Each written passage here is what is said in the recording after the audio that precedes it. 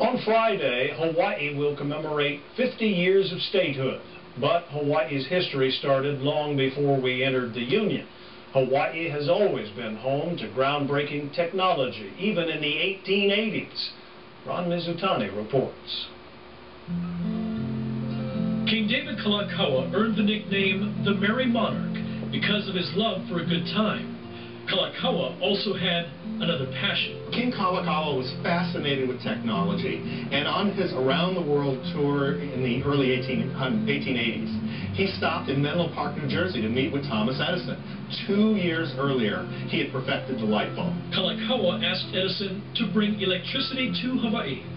Five years later, an insurance executive named Charles Otto Berger organized a demonstration of electric light at Iolani Palace something not even the White House was warned to. In the White House, they were afraid of electricity. But even then, when they put electricity in the White House, they had servants standing next to the switch, and it was their job to turn it on and off. The, the residents of the White House were not allowed to touch it. Kalakaua was convinced it was something he wanted.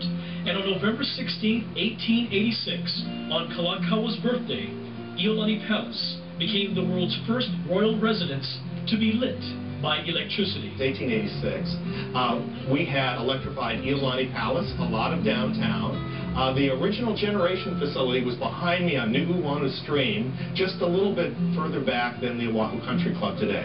Princess Kaiulani flipped a switch that connected the generator off the stream there, and that building still exists, by the way, although there's nothing in it. A year later, the first homes and businesses had electricity, and by 1890, Nearly 800 homes enjoyed the luxury. So the Iolani Palace had electricity four years before the White House, before Buckingham Palace, before any other royal palace in the world. In October of 1891, Hawaii Electric Company was incorporated, thanks to the vision of Hawaii's last reigning king.